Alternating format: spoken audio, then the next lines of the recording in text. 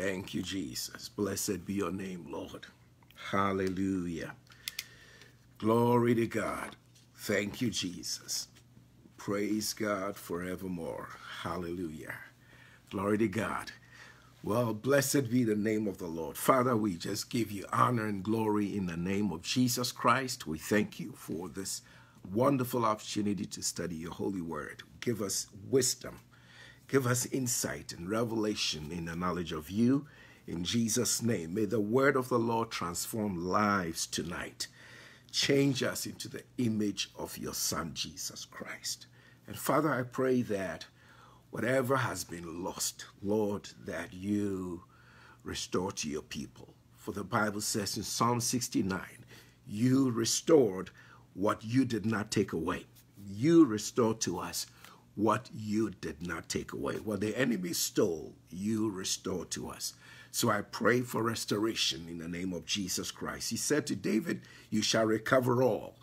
You are not partial. So I pray that people recover what they have what's been stolen from them. Recover what has been missing in their lives in Jesus' name. I pray for salvation, for healing, for deliverance. I pray for blessings, Lord, that make rich, to which you add no sorrow. Empower your people, Father, in the name of Jesus Christ. And where the enemy has occupied any life, any territory, in anyone's life, tonight I pray in Jesus' name that the enemy be dislodged, expelled, cast out, that he be removed from that place. In Jesus' name. Amen. Amen. Well, praise God. Praise God. Praise God. This is the second part of our study on uh, giving the devil no place. You know, giving the devil no place. I'm going to uh, teach more on how the devil had a place, or actually Lucifer had a place, and how he lost it. And so that explains why he's looking for a place. Makes sense, right? You know, we're told, and we studied this last week uh, in, Ephesians 4 and verse 27, says, Give the devil no place excuse me, give the devil no place. So that actually means that Satan is looking for a place. He's, he wants to uh, take some territory, capture something that's not his. Uh, and we're told not to give him any place. The, the Greek word for place, P-L-A, P-L-A-C-E, in English, the Greek word in the New Testament for place is the word topos, T-O-P-O-S. And as you can tell, uh, topography, you know, area, um, ground. So give the devil no ground, give the devil no foothold, no territory. Amen. In your spirit, in your soul, in your body, your finances, your family, your marriage, your relationships. I mean, just period. Give him no place in your life. Amen. All right? But we're going to see in the Bible I mean, this is once you see it, you're going to say, okay, now it makes sense to me. I don't agree, but it makes sense to me as to why the enemy is so keen on taking a place because he's lost his place. See, he's lost his place. He had a place and he lost it. So let's look at it from the Bible.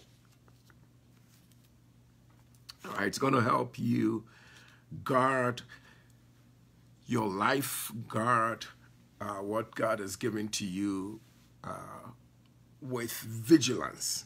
You know, uh, you're going to be a lot more alert, if you would, be a lot more alert, be a lot more vigilant after this study. So, let's turn to actually the first time man was told to protect or guard what he had been given. Genesis, Genesis 2. And verse 15. So, I want to go to Genesis chapter 2.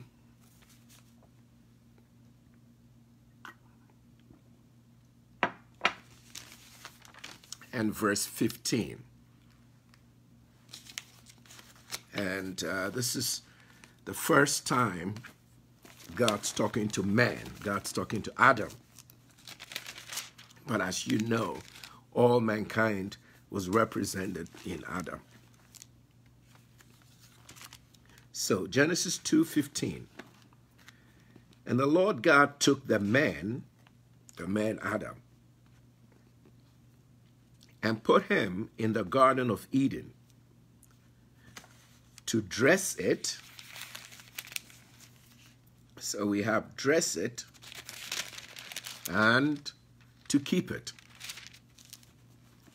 So notice man had two duties, two main responsibilities here. This is Genesis 2, verse 15. God put Adam in the Garden of Eden in paradise. There was no sin, no problem. Yet God told him, dress the garden. Uh, that means to cultivate the garden. You know, preserve it, watch over it, uh, well, tend to it. Tend to it. Be a farmer, that is. And then he says to keep it, to keep the garden. So, this is the first time we see right at the beginning of, of man's life in the Garden of Eden at a time of uh, beauty, innocence, perfection, no sin, no problem. God still says to Adam, take care of the garden, tend to it, cultivate it, and the second thing God says, and keep it. Keep it, K E E P, keep it in English, keep. Now, the Hebrew, the Old Testament was first written in Hebrew. The Hebrew word for keep here, keep, is the word shamar. Shamar. It's S H A M A R. S H A M A R. And it means to guard, to hedge about, and to protect. To guard, to hedge, put a hedge around something, a fence, a protection. So God told Adam to guard the garden.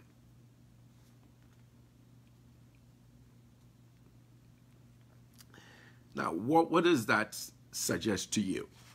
If somebody says, put a hedge of protection around your life, around your garden, you know, put a fence wall around your plot, your, your land, fence it in.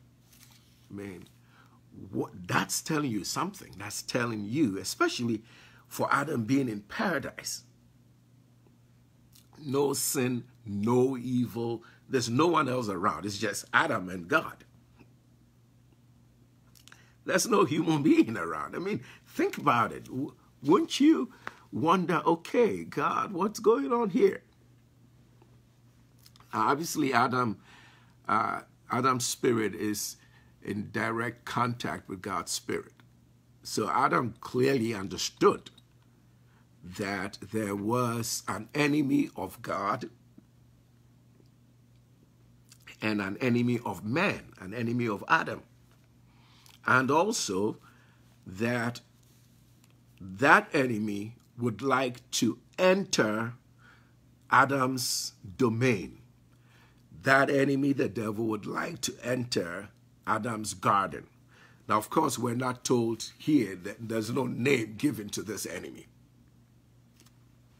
But you all see that it's, it's clear that Adam knew that there was an enemy. This is the first time on record there's a reference to an enemy outside of Adam's life, outside of Adam's house, Adam's garden, Adam's marriage, Adam's family outside of the human race. And he's being told this enemy would like to come in. just give you something quickly that you and I can just relate to. It, it, we, you know, I'm, I'm in America right now. In America, there is a problem problem with racism. There's some people who are racist. They hate other people who, who don't look like them. Now, these people who are racist were not born racist. Children don't know that. But they are taught it, you see. So at some point, this negative energy, this evil, wrong information entered them. It entered them.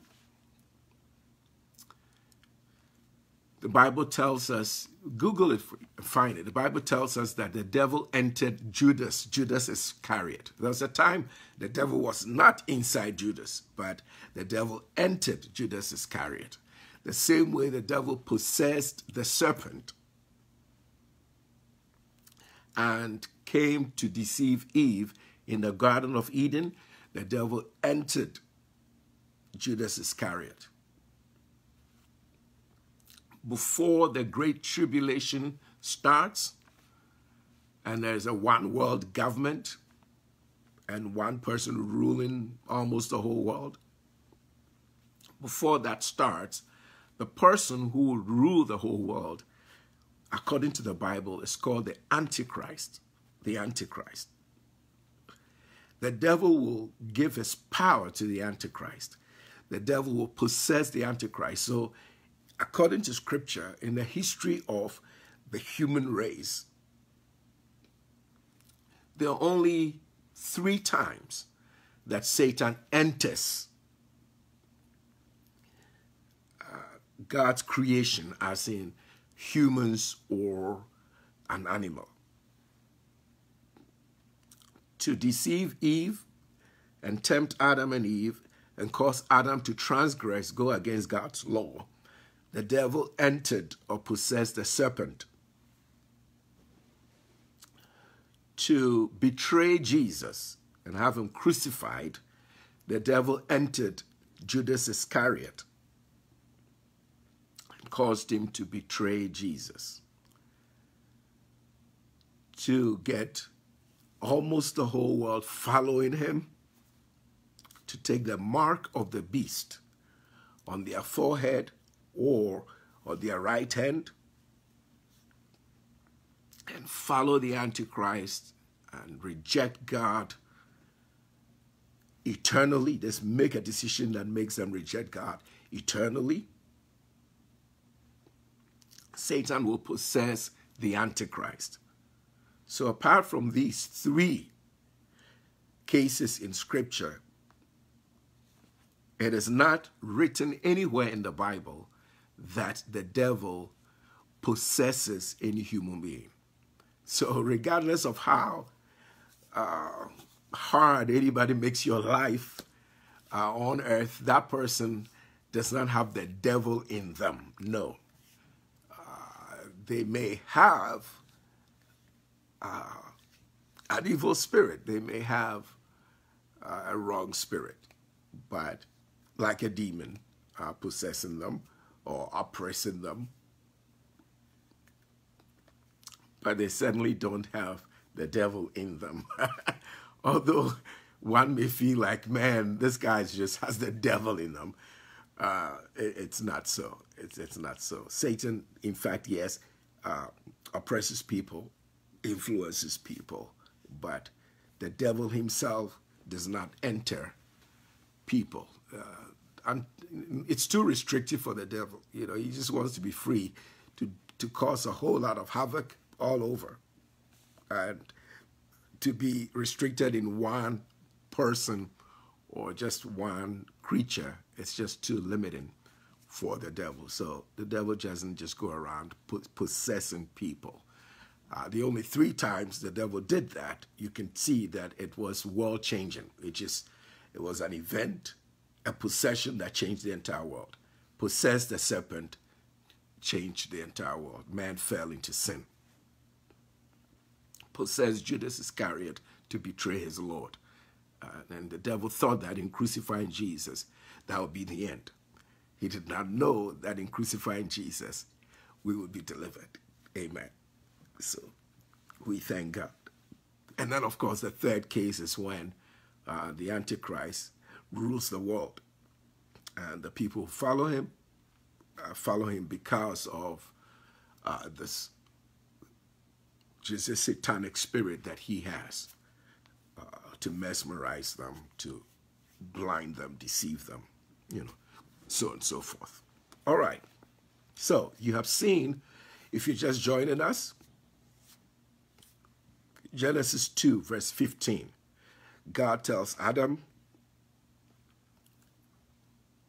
tend to the garden, cultivate the garden. So, by the way, anybody who doesn't work, you don't want to work at all ever in your life, uh, I have news for you. Sorry to bust your bubble. God wants you to work. Amen. God wants you to work.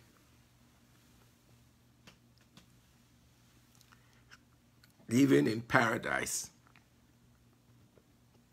Adam, excuse me,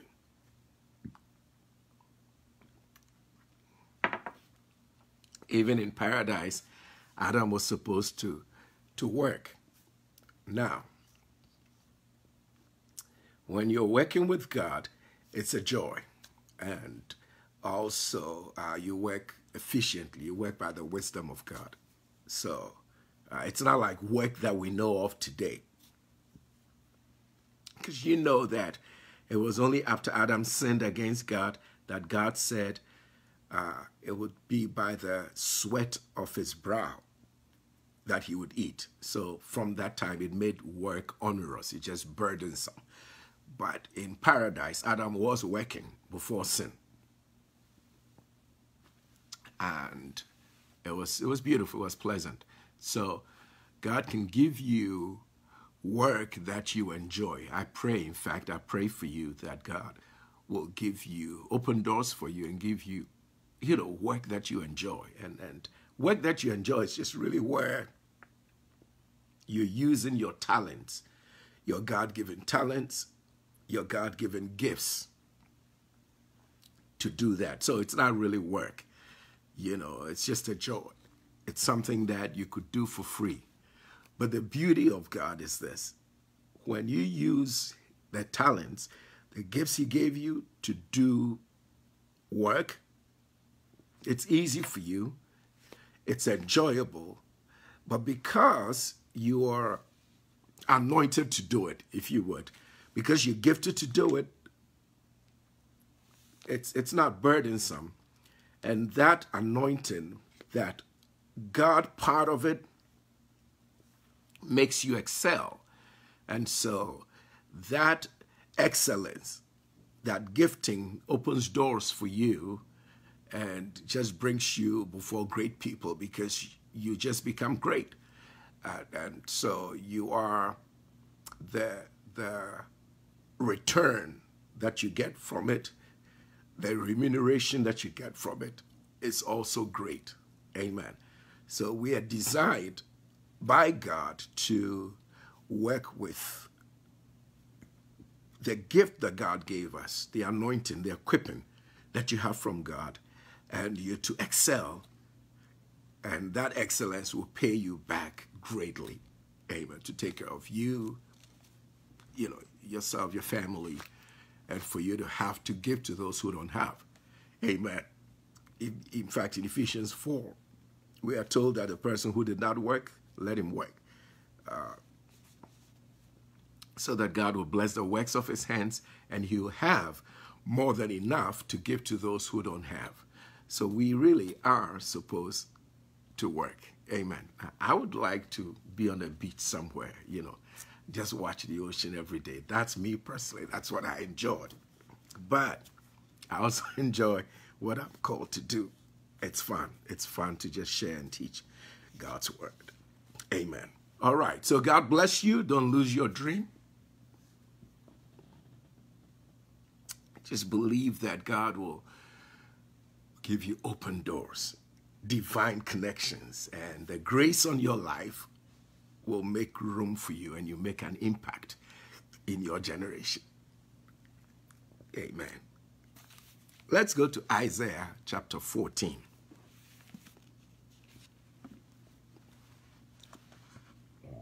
Excuse me.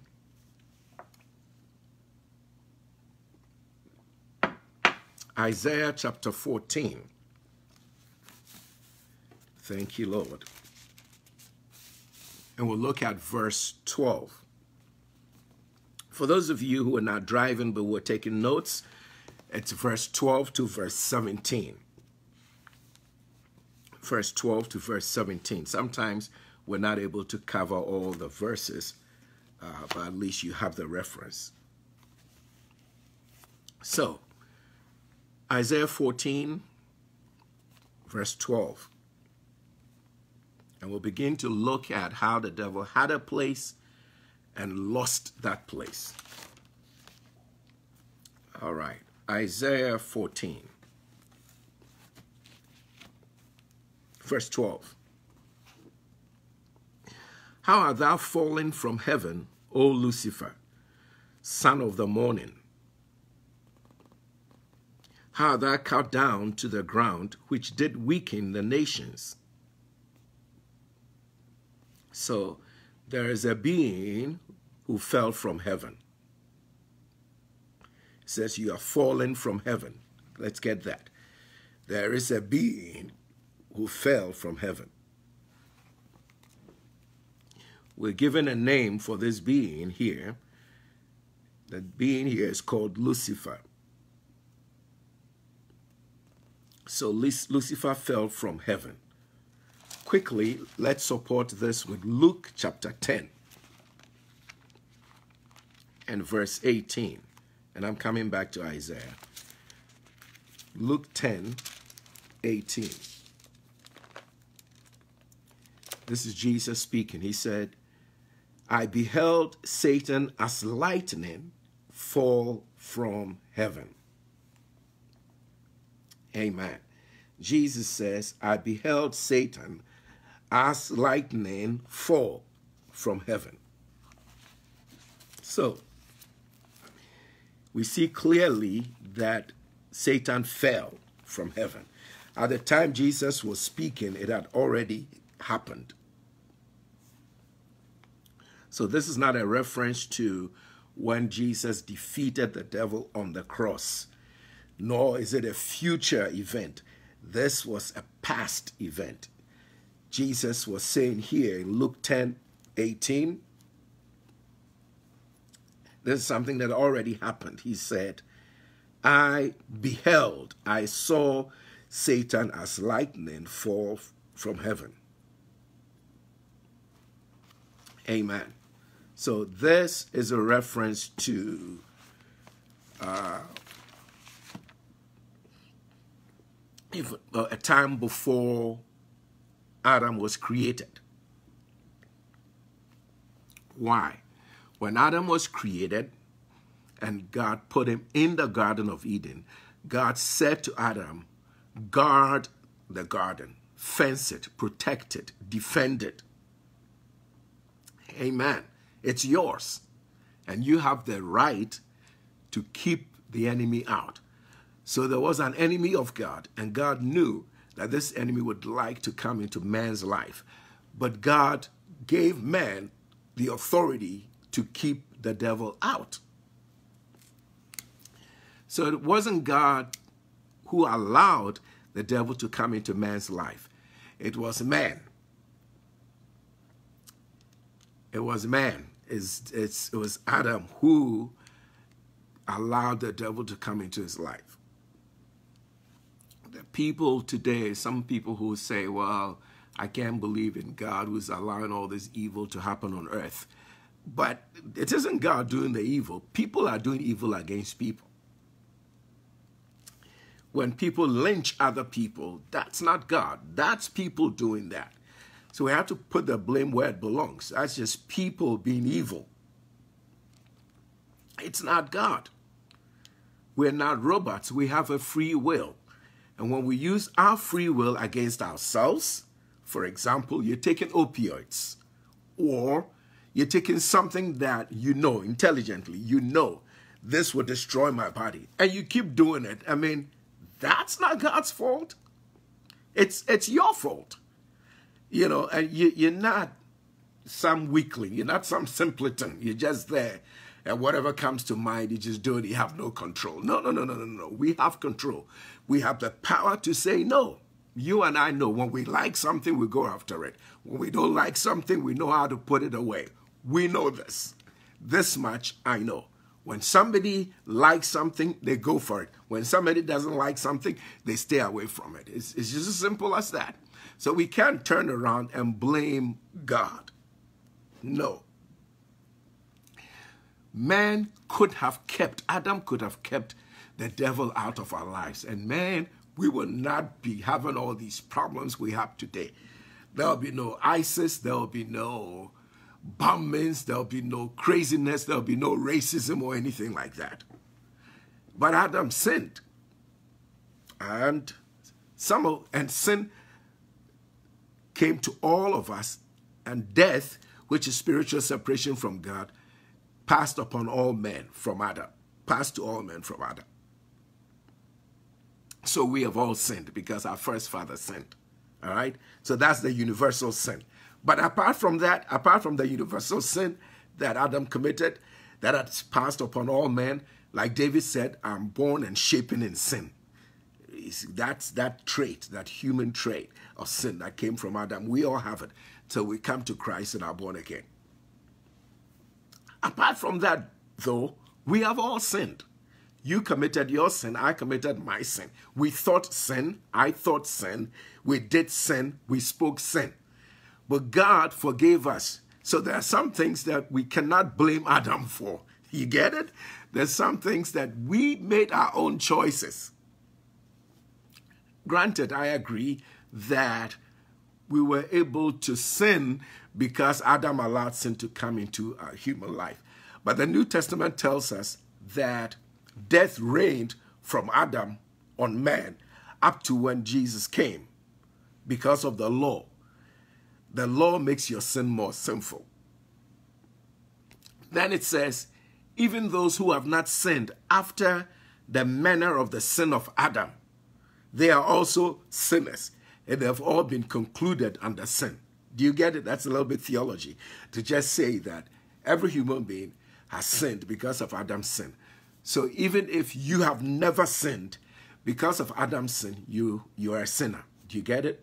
Okay, apart from that, you have sinned before, you know, because to err is human, to sin is human. So you have sinned before sin of thought, sin in action, sins of omission. You omit to do something that's right. Or sin of commission. Sometimes you even see some injustice against someone, and because you're afraid for your own life, you don't speak against. Let's take America, for example. Why do we have racism? Because the people who have the power, they are wimps. They are wimps. The people who have the power to stop it, most of them are wimps. Why? They are selfish. They when they see the evil going on, they have the power to stop it. They have the power to confront the others who have been racist, but they don't do it.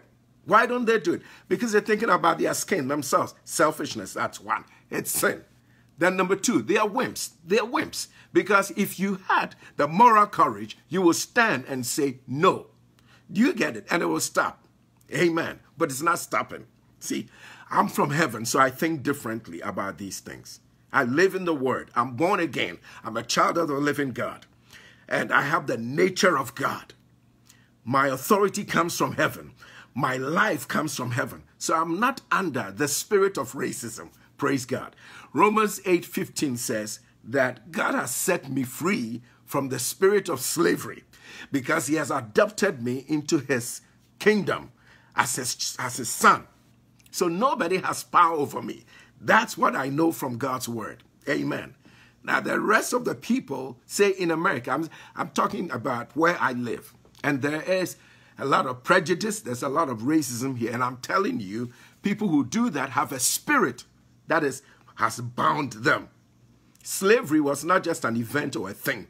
Slavery was a spirit. Romans 8 15 maybe you never got it today. Read it. Romans 8:15 talks about the spirit of slavery that made people afraid. That spirit that makes people afraid is still working today when somebody sees oppression, sees racism at work, and they have the power to stop it because of fear fear for their position, fear that they might be rejected by their kind, or whatever, to protect themselves, they don't defend the one who's being oppressed. And so the evil continues. Evil continues on earth because good men do nothing about it. But you can't still call yourself good if, in fact, you see evil and you have power to stop it and you don't stop it. It's a sin unto you. Do you now get it? You get the theology now. So, even if you have not sinned after the sin of Adam, you have sinned your own sin also.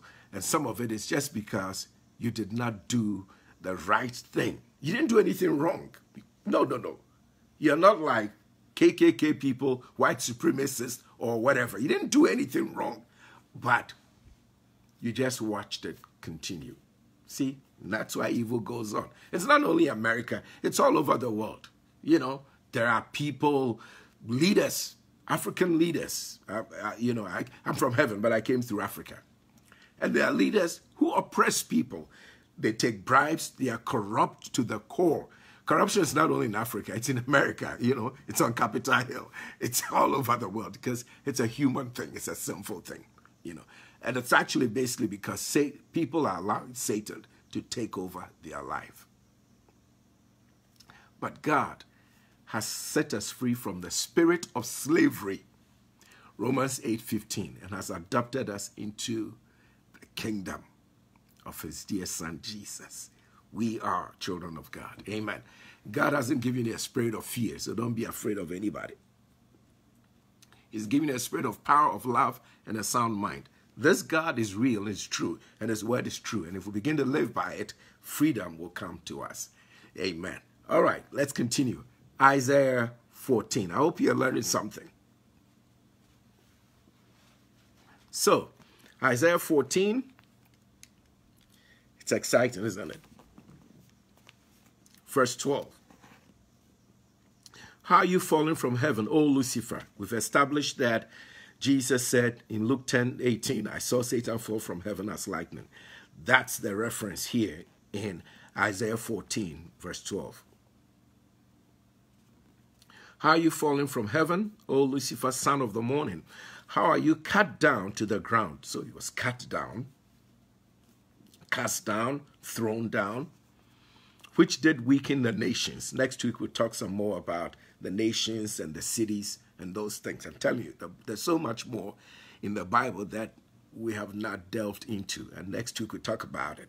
It's here in the Bible, so we must might as well ask ourselves why. You know, it helps us understand some things. Okay, we go on. Verse 13. Isaiah 14, verse 13. For you said in your heart, everybody, please, let's take time, let's let's look at this. So Lucifer says in his heart, and I want you to notice five things that Lucifer says. Five things. How many? Five. He says, I will. So he's using his will, his choice. Your will is your choice. right? So his own volition of his own choice. God didn't make him come against God only for God to throw him out. No. He freely, willingly chose to do these five things. And he said them in his heart. One, I will ascend into heaven. Two, I will exalt my throne above the stars of God. The stars of God here refers to the angels. But let's continue. Three, I will sit also upon the mount of the congregation in the sides of the north. Four, I will ascend above the heights of the clouds. Five, I will be like the Most High. Do you see this? Five. So he said five things in his heart. This is Lucifer. For those who didn't join us last week, please, please study this. The same verses we're looking at here in Isaiah chapter 14, verses 12 to verse to 17. These same verses talk about the devil in Ezekiel chapter 28. You're going to have to read that on your own. We studied that last week. Ezekiel 28, also verses 12 to 17. All right, so here in Isaiah, well, in Ezekiel, you see that Satan got into uh, sin because uh, he because of his own beauty. He began to adore himself. You know, I mean, uh, just look to himself, and because of his beauty, he got into pride. Ezekiel 28, 12 to 17 teaches us that. We covered that in great detail last week. Now, Isaiah 14. So there are five things Lucifer said in his heart. Let's look at them again, verse 13 and 14. He said, I will ascend into heaven. We'll talk about some of these things a lot more next week. But let me, let me at least just um, suggest them. Point them out so you can have a week to study them before, we, before I teach.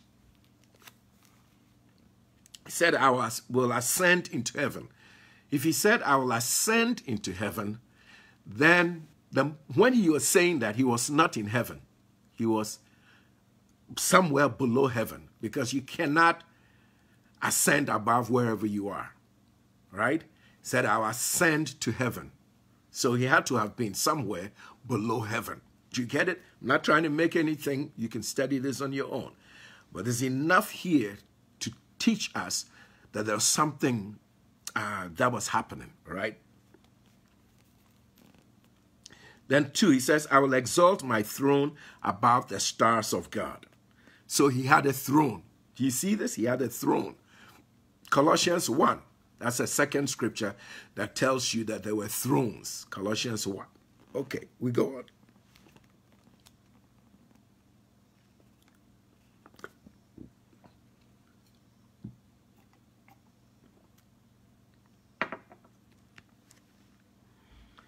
Then, number three, he says, I will sit upon the mount of the congregation in the sides of the north. So now this gives us a location. Wherever he wanted to go, we have two names for that place. It was the mount of the congregation. So there, it was mountainous. There was a mountain, it's a high place where there was a congregation of stars of God or angels of God. Do you see this? All it's all there. And it's in the sides of the north. So you have a location given to you. It is in the sides of the north. Some of you already know this. Mount Zion is in the sides of the north, the city of the great king.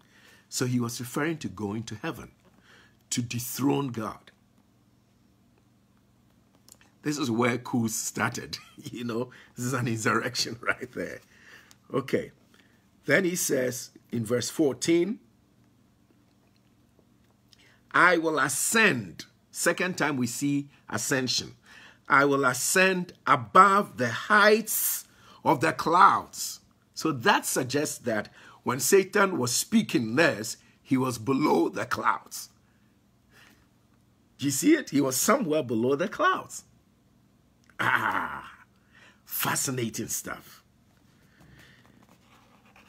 Then, oh, finally, now the fifth one, he says, I will be like the Most High. So now he says, I'm not happy being an angel, an archangel, just, you know, doing whatever I was called to do. Now I, I want to be the big man. I want to be the big boss. We learned this last week that we should give the devil no place but also we should resist him immediately. Because the moment God saw iniquity in his heart, God cast him out. You don't waste time with the devil. You know, don't cuddle the devil. Don't play around with the devil. Cast him out. Amen. Cast him out. Praise God. If fear begins to come, cast the spirit of fear out. If the spirit of slavery is coming back on you, cast it out in Jesus' name. Amen. You get it? All right. Okay. So, now I'll teach you one more thing though. Notice that Satan said, Five I wills. I will do this, I will do that, I will do that, I will do that, I will do that. Five of them. Let's see God's response. I saw this and I was so excited. I was like, wow, this is cool stuff. Look at God. God also said five things he was going to do to the devil. All right. So, Isaiah 14. Let's see God's response to the devil from verse 15. So God says to Satan, Yet you shall be brought down to hell, to the sides of the pit. So we can start counting. That God says to the devil, I'm going to throw you into hell. That's one. Verse 2, I mean, verse 16, excuse me. Isaiah 14, verse 16. They that see thee shall narrowly look upon thee and consider thee, saying, Is this the man that made the earth to tremble, that did shake kingdoms? Please don't let the, the use of the word man here bother you. Angels are called men in the Bible. They're not human like us, but they have appeared like humans. And so when somebody has seen an angel that looks human, they make the mistake of calling it a man. Do you get it? Okay. Daniel did this. Daniel, uh, in the book of Daniel, Daniel called Gabriel a man. This is all in the Bible, Daniel chapter 9, Daniel chapter 10. Daniel called Gabriel, the angel Gabriel, a man. He said, I saw a man. And then that man was caused to, to fly swiftly to me. And when he came, he said he was Gabriel. oh, wow. So Gabriel, when Gabriel appeared to Daniel, Gabriel looked like a man, like you and me. You know, the book of Hebrews, chapter 13, says some have entertained angels unawares. Now, how do you entertain an angel not knowing that, that it's an angel? It's because that angel looked like, like a human being. Because, man, if anything appears to me with wings, like six wings or two wings, dazzling white, I mean, just all this radiant light around. I mean, I know that's not a human being, but if you look just like me, I know it's human. You, you get it? Okay, cool. So we go on Isaiah 14. Now, God says, I'll throw you down to hell, and I'll also cause people to gaze on you or I'll make you a spectacle. You know, I'll just throw you down and let them see you as nothing. This this scripture has always personally fascinated me. I'm, I'm like, man, we better use our authority against the devil right now. You don't want to wait at the end of time and then you look down at the devil and say, what? Is that that nothing, that tiny thing that messed up my life? No, you got to know right now that you have authority through Jesus Christ over the devil. Amen and resist the devil in Jesus' name, you flee from you. Catch this, catch this. Do you remember when Jesus gave authority to 70 of his disciples in Luke 10? And they went out and healed the sick and did all these wonderful things. You remember they came back to Jesus in Luke 10 17 and said, Master, Master, even the demons were subject to us in that in, on, in your name. They were they were astounded. They were they were surprised. They're like, they said, even demons were subject to us in your name. Right? Thank God at least they experienced it. They got to see it to their own amazement. But they began to walk in the authority. Amen. Don't wait till don't suffer, you know, at the hands of the devil. And then at the end of the time, at the end of time, Satan is just cast down, and you are in heaven, and you happen to take a look, and you say, "What is that? That nothing that I allowed to deceive me?"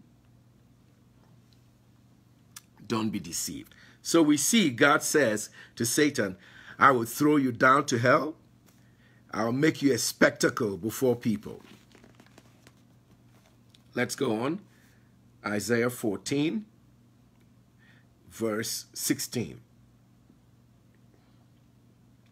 They that see thee shall narrowly look upon thee. I even like the way he uses the word narrowly.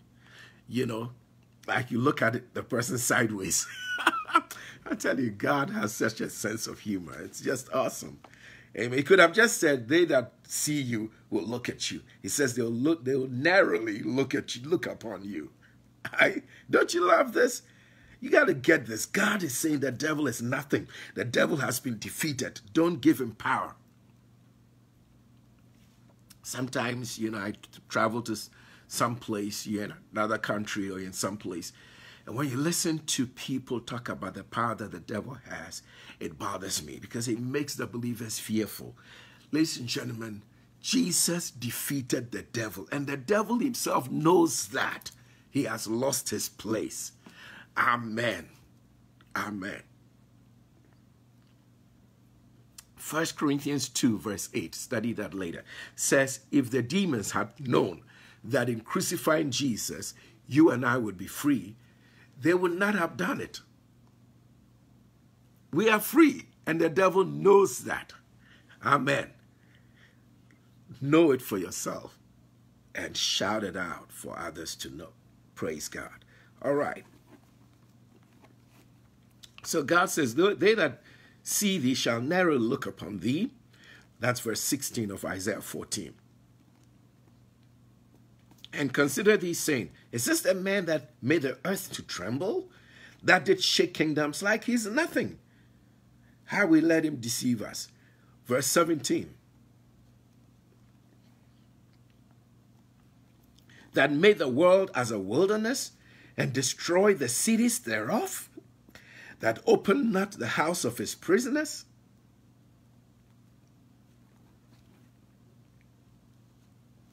Let's read verse 18 as well. All the kings of the nations, even all of them, lie in glory, everyone in his own house. Verse 19, but you are cast out. You are cast out of your grave like an abominable branch.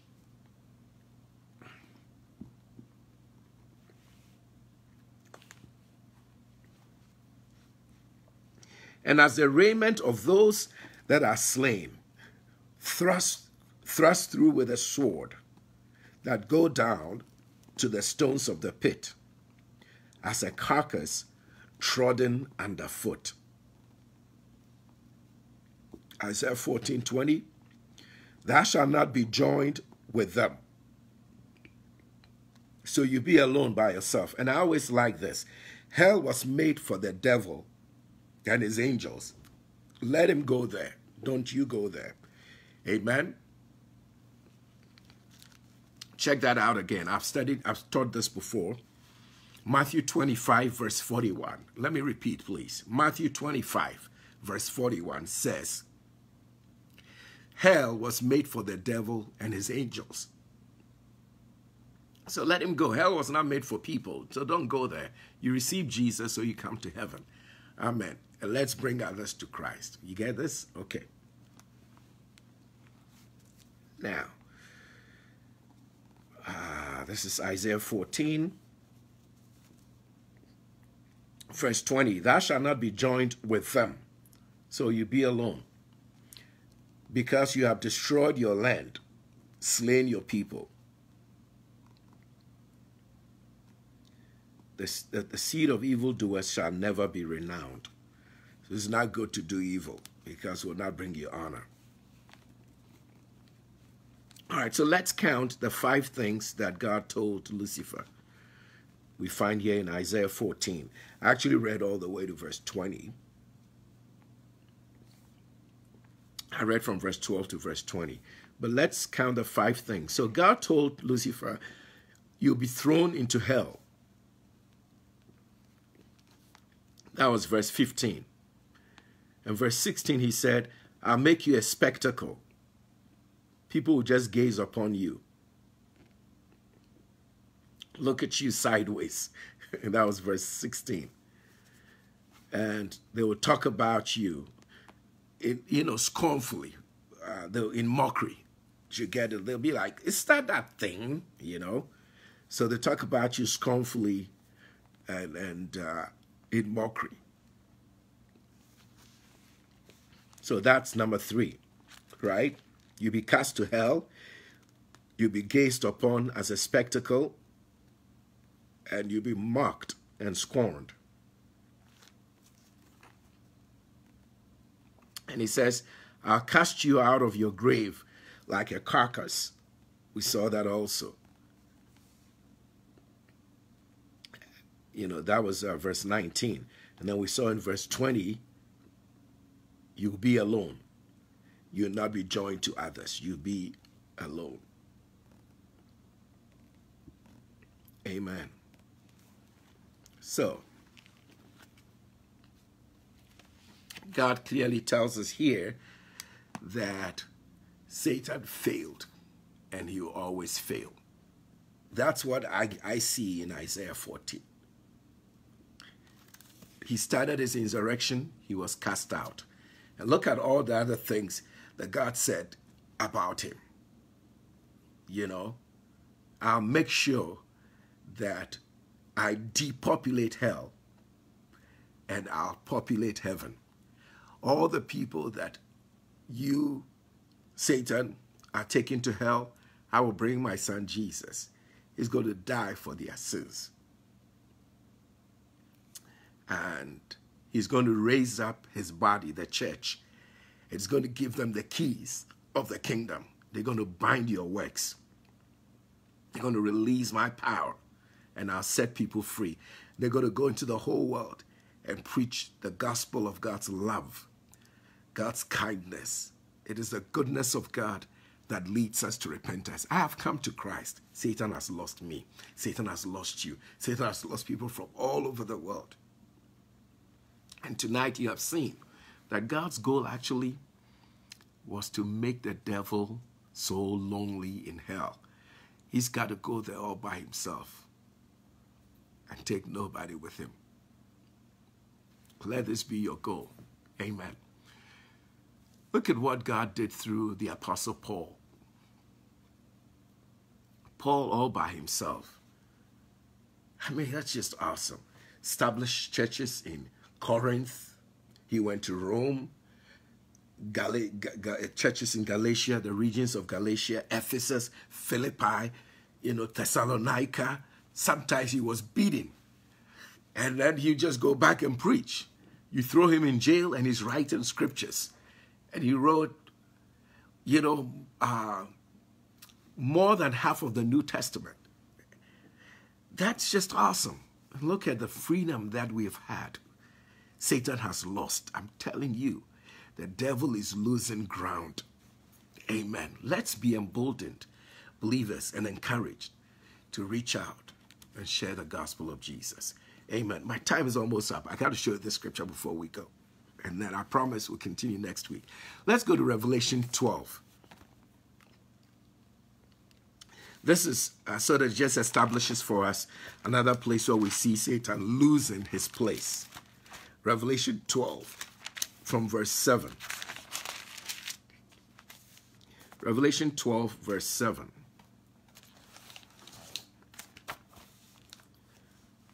It says, And there was war in heaven. Michael and his angels fought against the dragon, and the dragon fought and his angels. So Michael has his angels, the dragon also has his contingent of angels. Verse 8 And prevailed not, neither was their what? Place, neither was their place found any more in heaven. So Satan has lost his place. That's why He's trying to take your place. So give him no place. You got it tonight? Praise the Lord.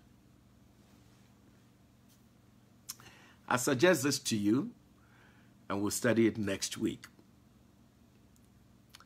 Satan came into the Garden of Eden and tried to take Adam's place. Because he felt it was his. But God had given it to Adam and to Adam's race. And Satan is still trying to take what he thinks or feels is his. And God says, don't give the devil any place. Do you get it? It says here, their place was found no more in heaven. Verse 9, and the great dragon was cast out, that old serpent called the devil. He's also called Satan, who deceives the whole world. He was cast out into the earth, and his angels were cast out with him. So, just one more scripture before you go, just to show you that they had a place, but they don't have that place anymore. Turn to Jude. Jude is only one chapter. We're right there. It's just before Revelation. Jude chapter 1, one chapter, verse 9.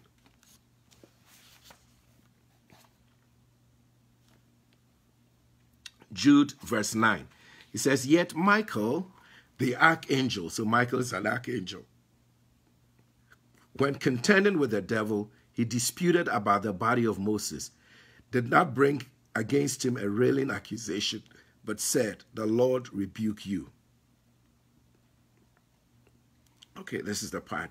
But there's a better scripture that actually talks about their place. Go to verse 6. Verse 6 And the angels which kept not their first estate, but left their own place,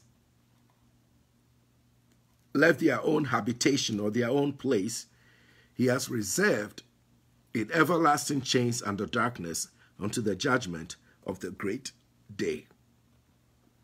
So, at least three times in the Bible, we have seen the devil had a place the devil and his angels had a place. In Jude, verse 6, the angels did not keep their place, they lost it. In Isaiah 14, Satan lost his place. In Luke 10, 18, Jesus said Satan was thrown out of heaven. So the devil is trying to take a place that is not his. God gave the Garden of Eden to man. Told Adam, guard it, keep it. Because Satan would, an enemy would try to come and take it.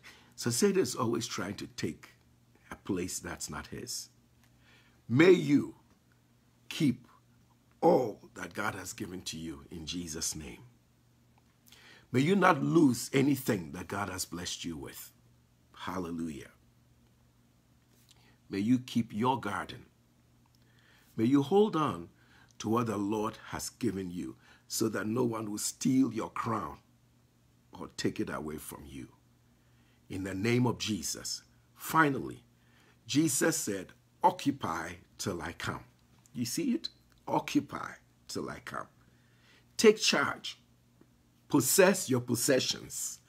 I pray this blessing upon you, for the time has come for the sons of God to possess their possessions. So may you possess your possessions. May you recover all. The Lord help you, you and all yours. In Jesus' name, by the faith of God, I call it done. God bless you. God bless you. Occupy your place. For the gifts and talents that I spoke about to help you do your work in your paradise, may you discover your purpose, discover your destiny, and occupy that place. May you fit that place. May God set you in place. For he has said, he has set some in the church apostles, prophets, evangelists, pastors, teachers, administrations. May you discover your purpose and may you be set in place and be so comfortable because you have finally found your place. God bless you. Receive it. Receive this blessing. You have it. I speak this as a man of God, as an apostle of the Lord Jesus Christ, into you, into your house, into your career, into your life. An apostle helps people discover their callings, their purpose, and helps establish them. I pray this prayer over you that you find your place in the kingdom. You fulfill your purpose and destiny. In Jesus' name. Amen. God bless you. God bless you. I feel I feel that God has done some wonderful things. Amen. Amen. Amen. Amen. You can go if you have to go. We're done. Amen. I'm done with the teaching, so we can end right now. But I just want to pray for you. I want to pray with you uh, because God has said some things tonight. Uh, in paradise, Adam was supposed to work. I pray that you find your paradise. We're supposed to work to help people. May God lead you into your paradise in the name of Jesus Christ. I pray that you discover your calling, your giftings, your purpose, and I pray that there would be a divine connection, that God will connect you to your waymaker. God will connect you to the person who will help you be unleashed into your destiny. Just as Jesus was connected to John the Baptist, and John the Baptist baptized him and Jesus was manifested to Israel as the Son of God and he began his ministry. I pray for you in Jesus' name that God will connect you to your waymaker in the name of Jesus, that you discover your purpose and find your place and fit in your place in the name of Jesus. What God has given to you, may you keep. Keep your family intact. Keep your health. Keep your peace in the name of Jesus Christ of Nazareth in Jesus' name. In Jesus' name. Those who joined us on the phone line, those who joined us uh, on Facebook, God bless you. Dr. Nada, God bless you. Uh, JJ Southern Bell, God bless you. I see you. Emmanuel, God bless you. In the name Jesus. Hope, God bless you. Yes, receive the power, receive the anointing. God bring you into your paradise in the name of Jesus Christ in the name Jesus for our Florida Assembly. God bless you. I see you. Praise the Lord. May the Lord bring you into your paradise in Jesus' name. May the Lord open your, your understanding, the eyes of your spirit, so that you may know your calling and the hope of it. May you find that calling in the name of the Lord Jesus. I pray for you. I see you, Friska. I pray for you in the name of Jesus Christ. Receive the anointing and discover your purpose and fulfill in Jesus' name. And I pray for all of you, those who have not mentioned, have not seen your name yet, but you are here listening to me. I pray for you that you find your place. Keep that place in Jesus' name. I declare that the devil will not steal from you. Emmanuel, the devil will not steal from you. Hope, the devil will not steal from you. In the name of Jesus. In the name of Jesus. Those who have tuned in from Georgia, and tuned in from California, I pray for you in the name of the Lord Jesus. Receive divine breakthroughs today. In Jesus' name. And again, as the Lord said to David, you recover all. May you also recover in Jesus' name. In Psalm 69, the Lord said he restored what he didn't take away. So what Satan stole from you, I pray that the Lord, who did not take it away, will restore to you. Receive it, hope, in Jesus' name. Receive it, every one of you. Florida, Georgia, California, receive it in the name of Jesus Christ. In the name of Jesus, receive it. Receive it. Miss Abrampa, receive it. Mrs. Kujo in Florida, receive it in the name of Jesus. The blessing of the Lord be upon you today. In Jesus' name, I command the enemy to take his hands off of your life, off of your blessings and your family. In Jesus' name, I declare him dislodged, cast out, removed from any place he has taken from your life. In Jesus' name, by the faith of God, I call it down. Lord, we thank you. We magnify you. We glorify you. In Jesus' name, amen and amen. God richly bless you and keep you all. Praise God. Amen. Share this Tell somebody next week we'll continue. All right? God bless you.